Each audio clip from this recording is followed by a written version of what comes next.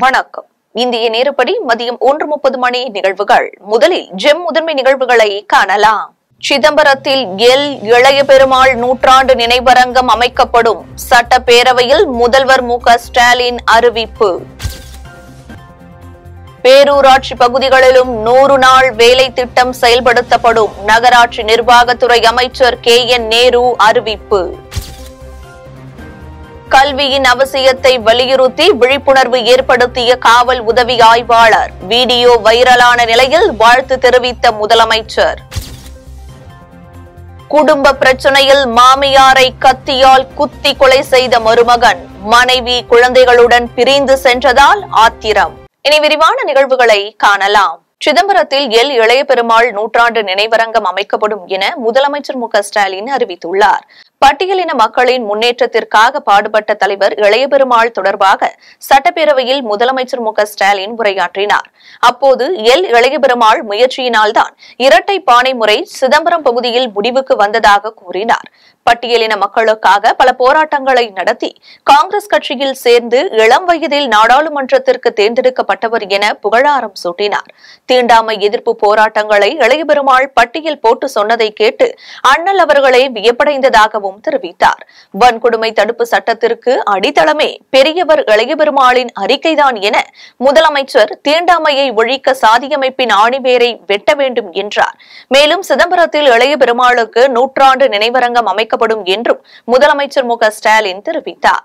ஊராட்சி பகுதிகளைப் போலவே பேரூராட்சி பகுதிகளிலும் நூறு நாள் வேலை திட்டத்தை செயல்படுத்த நடப்பாண்டில் இருநூறு கோடி ரூபாய் ஒதுக்கீடு செய்யப்பட்டிருப்பதாக நகராட்சி நிர்வாகத்துறை அமைச்சர் கே என் நேரு அறிவித்துள்ளார்.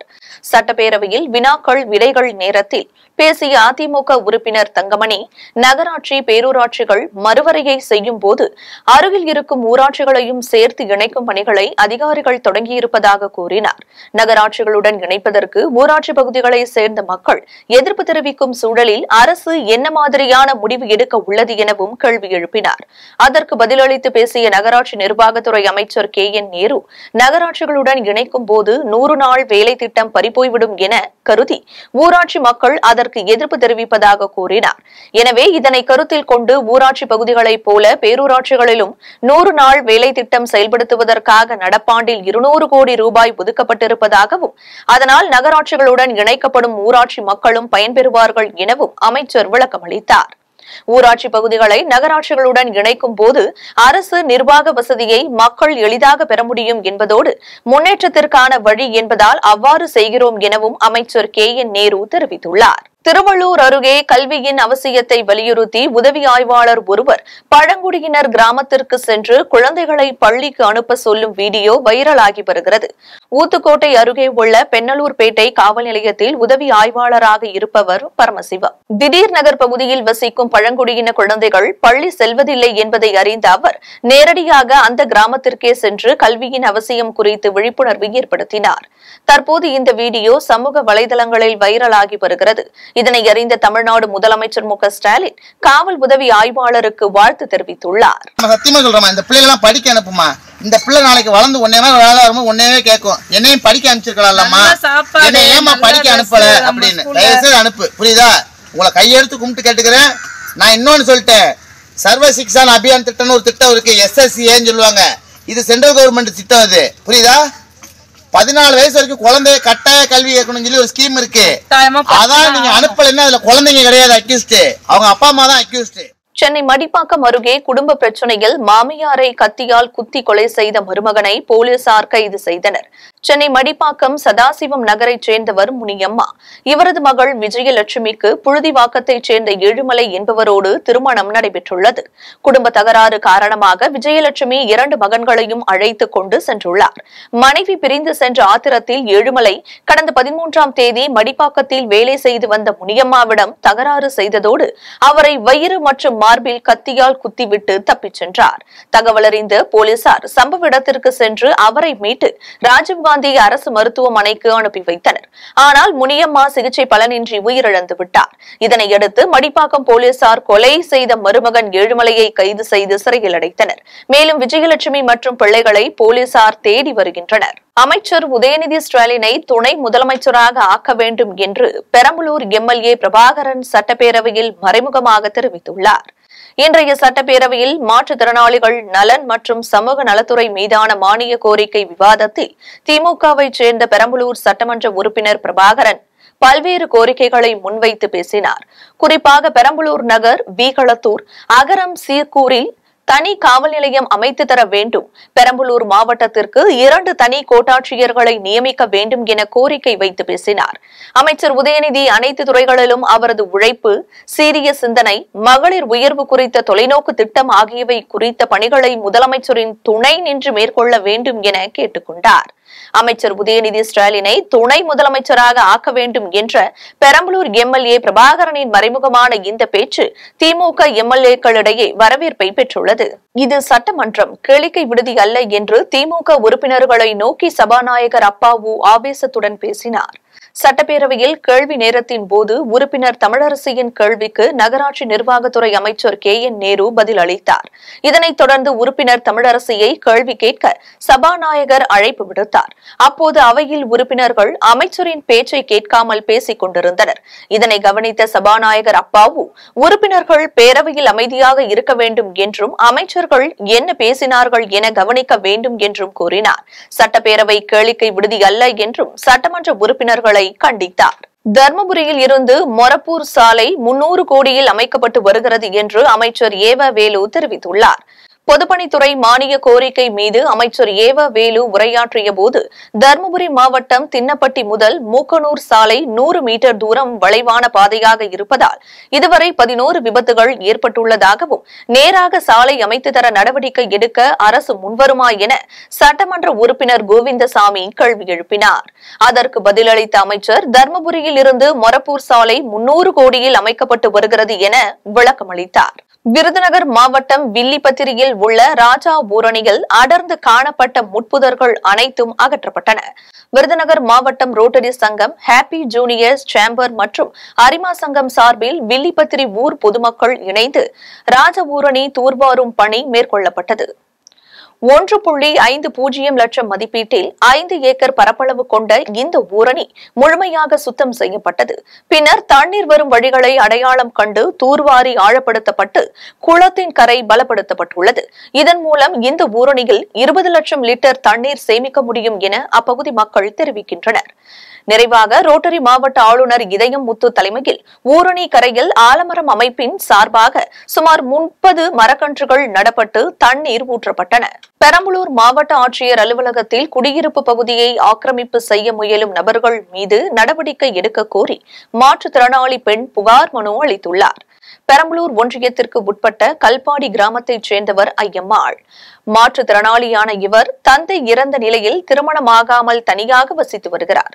இவரது வீட்டின் அருகில் வசிக்கும் கணேசன் மற்றும் அவரது குடும்பத்தினர் ஐயம்மாள் வீட்டின் நிலத்தை ஆக்கிரமிப்பு செய்து கட்டுமான பணி செய்து வருவதாக தெரிகிறது. இதனால் ஐயம்மாள் மற்றும் கணேசன் இருவருக்கும் தகராறு ஏற்பட்ட நிலையில் இது தொடர்பாக ஐயம்மாள் காவல் நிலையத்தில் புகார் மனு வழங்கிய போதும் உரிய நடவடிக்கை எடுக்கவில்லை என்று கூறப்படுகிறது. இந்நிலையில் பெரம்பலூர் மாவட்ட ஆட்சியர் அலுவலகத்தில் குடியிருப்பு நிலத்தை ஆக்கிரமிப்பு செய்ய முயற்சி செய்யும் நபர்களிடம் இருந்து தனது நிலத்தை மீட்டு தருமாறு ஐயம்மாள் புகார் மனு வழங்கினார். பெரம்பலூர் அருகே நிறுத்தி வைக்கப்பட்டுள்ள கழிவுநீர் வாய்க்கால் கட்டுமான பணியை விரைந்து முடிக்க கோரி மாவட்ட ஆட்சியர் அலுவலகத்தில் புகார் மனு அளிக்கப்பட்டுள்ளது. பெரம்பலூர் மாவட்டம் வேப்பந்தண்டை வட்டத்திற்கு உட்பட்ட மரவனத்தம் கிராமத்தில் பிம்பலூர் ஊராட்சி மன்ற தலைவர் கடந்த மூன்று மாதங்களுக்கு முன்பு கான்கிரீட் கழிவுநீர் வாய்க்கால் அமைக்கும் பணி தொடங்கியதாக கூறப்படுகிறது. தற்போது பணி தடைபட்டுள்ளதால் வாய்க்காலில் கழிவுநீர் தேங்கி நிற்கிறது. இதனால் பொதுமக்களுக்கு நோய்கள் பரவும் அபாயம் உள்ளதாக கூறி மரவனத்தம் கிராமத்தைச் சேர்ந்த பொதுமக்கள் பெரம்பலூர் மாவட்ட ஆட்சியர் அலுவலகத்தில் மனு அளித்தனர். அதில் கழிவுநீர் வாய்க்கால் கட்டுமான பணியினை விரைந்து முடிக்க வேண்டும் என கோரிக்கை விடுத்துள்ளனர். சேலம் மாவட்டம் ஆத்தூரில் சின்னசாமி ஐயா நடுநிலைப் பள்ளியில் தீ தொண்டு வார விழா ஆத்தூர் தீயணைப்பு துறை சார்பாக போலி ஒத்திகை பயிற்சி நடைபெற்றது. ஆத்தூர் தீயணைப்பு வீரர்கள் தீ தொண்டு வார விழாவை முன்னிட்டு பள்ளி மாணவ மாணவிகளுக்கு போலி ஒத்திகை பயிற்சியின் மூலம் செயற்கையாக தீயை உருவாக்கி அதை பாதுகாப்பாக அணைப்பது வீடுகளில் கேஸ் சிலிண்டர்களை பாதுகாப்பாக பயன்படுத்துவது உள்ளிட்டவை குறித்து விளக்கம் அளித்தனர் மேலும் தீ விபத்தில் காயமடைந்தவர்களை மீட்டு எவ்வாறு முதலுதவி அளிக்க வேண்டும் என்பது குறித்தும் செயல் விளக்கம் அளிக்கப்பட்டது. இந்த போலி ஒத்திகை நிகழ்ச்சியில் ஆசிரியர்கள் ஏராளமான பள்ளி மாணவ மாணவிகள் கலந்து கொண்டனர். திருக்கோவிலூர் அருகே ரம்ஜான் பண்டிகையை முன்னிட்டு ஒன்றரை கோடி ரூபாய்க்கு கால்நடைகள் விற்பனையாகின. கள்ளக்குறிச்சி மாவட்டம் திருக்கோவிலூர் அருகே செட்டித்தாங்கல் கிராமம் உள்ளது. இந்த கிராமத்தில் ஒவ்வொரு வாரமும் செவ்வாய்க்கிழமை அன்று கால்நடை சந்தை நடைபெறுவது வழக்கம். அதன்படி இன்னும் நான்கு நாட்களில் ரம்ஜான் பண்டிகை கொண்டாடப்பட உள்ள நிலையில் வாரச்சந்தையில் சுமார் ஒன்றரை கோடி ரூபாய்க்கு மேல் கால்நடைகள் விற்பனையானதால் கால்நடை வியாபாரிகள் மற்றும் விற்பனையாளர்கள் மகிழ்ச்சியடைந்தனர். மேலும் அதிகப்படியான கூட்டம் வார சந்தையில் ஈடுபடுவதால் நோய் தொற்று பரவும் அபாயமும் உள்ளது. எனவே சுகாதாரத்துறையின் சார்பில் தகுந்த முன்னெச்சரிக்கை நடவடிக்கைகளை மேற்கொள்ள வேண்டும் என அப்பகுதி மக்கள் சமூக ஆர்வலர்கள் கோரிக்கை விடுத்துள்ளனர். தீ தொண்டு வார விழாவை முன்னிட்டு நிலக்கோட்டை தீயணைப்பு மீட்பு பணிகள் நிலையத்தின் சார்பாக தீ பாதுகாப்பு குறித்து விழிப்புணர்வு நிகழ்ச்சி நடைபெற்றது. நிலக்கோட்டை வட்டார பொது சுகாதார மையம் அம்மைய நாயக்கனூர் ஆரம்ப சுகாதார நிலைய வளாகத்தில் தீ தொண்டு வார விழா நடைபெற்றது. வட்டார மருத்துவ அலுவலர் வினோத் தலைமையில் தீ விழிப்புணர்வு நிகழ்ச்சி நடைபெற்றது. இந்நிகழ்ச்சியில் நிலக்கோட்டை தீயணைப்பு மீட்பு பணிகள் நிலையத்தின் அலுவலர் விவேகானந்தர் தலைமையில் பத்துக்கும் மேற்பட்ட தீயணைப்பு வீரர்கள் கலந்து கொண்டு தீ விபத்து குறித்து செயல் விளக்க நிகழ்ச்சியை நடித்து காட்டி பொதுமக்களுக்கு விழிப்புணர்வு ஏற்படுத்தினர். இதில் மருத்துவர்கள் செவிலியர்கள் மருத்துவமனை பணியாளர்கள் என முப்பதுக்கும் மேற்பட்டோர் கலந்து கொண்டனர். வடசென்னை ஆட்டு இறைச்சி வியாபாரிகள் சங்கம் சார்பில் இஃப்தார் நோன்பு திறப்பு நிகழ்ச்சி நடைபெற்றது. சென்னை திருவொற்றியூர் காலடிப்பேட்டையில் உள்ள தனியார் திருமண மண்டபத்தில் வடசென்னை ஆட்டு இறைச்சி வியாபாரிகள் சங்கம் சார்பில் சமூக நல்லிணக்க இஃப்தார் நோன்பு திறக்கும் நிகழ்ச்சி நடைபெற்றது. வடசென்னை மாவட்ட ஆட்டு இறைச்சி சங்க தலைவர் அமானுல்லா தலைமையில் நடைபெற்ற இந்நிகழ்ச்சியில் சிறப்பு அழைப்பாளர்களாக ஐக்கிய முஸ்லிம் முன்னேற்ற கழக மாநில தலைவர் ஹைதர் அலி இந்திய தேசிய லீக் கட்சியின் மாநில தலைவர் அப்துல் ரஹீம் உள்ளிட்டோர் கலந்து கொண்டனர். இதனைத் தொடர்ந்து ஏழை எளியோருக்கு நலத்திட்ட உதவிகள் வழங்கப்பட்டன. இதில் பொதுச் செயலாளர் லியாகத் பொருளாளர் ஜெயக்குமார் இக்பால் உள்ளிட்டோர் கலந்து கொண்டனர். கடலூர் அருகே அழகர் சுவாமி திருக்கல்யாண வைபோகம் வெகு விமர்சையாக நடைபெற்றது. கடலூர் அடுத்த தென்னம்பாக்கம் கிராமத்தில் பிரசித்தி பெற்ற பூரணி பொற்கலை சமேத அருள்மிகு அழகர் திருக்கோவில் அமைந்துள்ளது. இக்கோவில் திருவிழா கடந்த வாரம் கொடியேற்றத்துடன் தொடங்கி தினமும் சிறப்பு அபிஷேக தீப ஆராதனை நடைபெற்றது. இதனைத் தொடர்ந்து முக்கிய நிகழ்வான சித்திரை பெருவிழாவை முன்னிட்டு வேத மந்திரங்கள் முழங்க அழகர் சுவாமிக்கு திருக்கல்யாண வைபோகம் வெகு விமர்சையாக நடைபெற்றது. இதில் ஏராளமான பக்தர்கள் கலந்து கொண்டு சுவாமி தரிசனம் செய்தனர். தென்காசியில் பல்வேறு கோரிக்கைகளை வலியுறுத்தி தமிழ்நாடு அங்கன்வாடி ஊழியர்கள் மற்றும் உதவியாளர் சங்கத்தின் சார்பில் கண்டன ஆர்ப்பாட்டம் நடைபெற்றது. தென்காசி புதிய பேருந்து நிலையம் அருகே தமிழ்நாடு அங்கன்வாடி ஊழியர் மற்றும் உதவியாளர் சங்கத்தின் சார்பில் கண்டன ஆர்ப்பாட்டம் நடைபெற்றது. ஆர்ப்பாட்டத்திற்கு டேவிட் பாக்கியராணி தலைமை வகித்தார். இதில் ஊட்டச்சத்து மேம்படுத்துதல் என்ற பெயரில் மையங்களை இணைக்கும் திட்டத்தை கைவிடக் கோரியும் அங்கன்வாடி ஊழியர் மற்றும் உதவியாளர்களுக்கு மே மாதம் விடுமுறை அளிக்கவும் காலி பணியிடங்களை நிரப்பிட வேண்டும் என்பன உள்ளிட்ட கோரிக்கைகளை வலியுறுத்தி கண்டன ஆர்ப்பாட்டம் நடைபெற்றது. இதில் ஐநூறுக்கும் மேற்பட்டோர் கலந்து கொண்டு கோரிக்கைகளை வலியுறுத்தி கோஷங்களை எழுப்பினர்.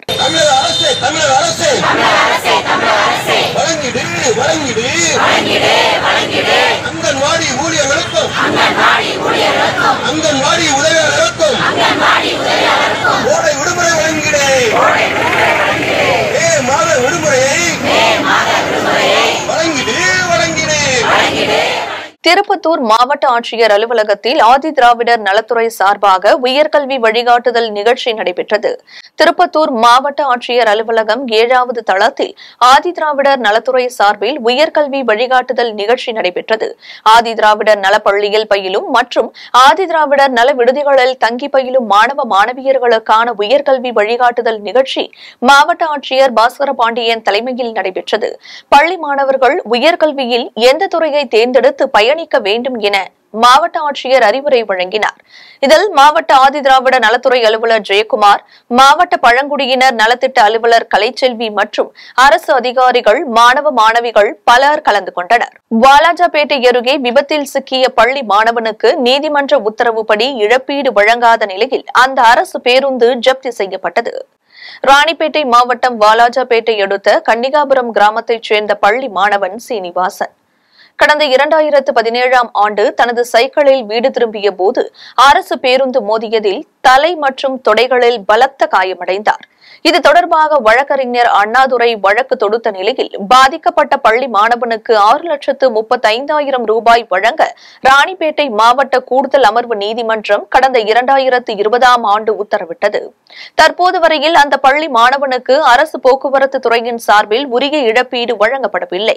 எனவே அந்த தொகைக்கு வட்டியுடன் சேர்த்து எட்டு லட்சம் ரூபாய் உரிய இழப்பீடு வழங்குமாறு கூறி முத்துக்கடை பேருந்து நிலைய நிலையத்தில் அந்த அரசு பேருந்தை நீதிமன்ற ஊழியர்கள் ஜப்தி செய்துள்ளனர். ராணிப்பேட்டை அருகே ஓய்வு பெற்ற பள்ளி மற்றும் கல்லூரி ஆசிரியர் நலசங்கத்தின் சார்பில் பத்து அம்ச கோரிக்கைகளை நிறைவேற்ற கோரி கவன ஈர்ப்பு ஆர்ப்பாட்டம் நடைபெற்றது.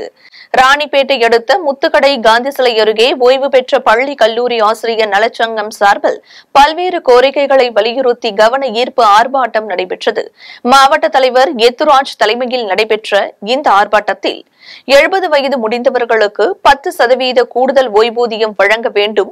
அகவிலைப்படி உயர்வை மத்திய அரசு அறிவித்த தேதி முதல் வழங்கிட வேண்டும். குடும்ப பாதுகாப்பு நிதியை இரண்டு லட்சமாக உயர்த்தி வழங்க வேண்டும் என்பன உள்ளிட்ட பத்து அம்ச கோரிக்கைகளை வலியுறுத்தி கோஷங்களை எழுப்பி ஆர்ப்பாட்டத்தில் ஈடுபட்டனர்.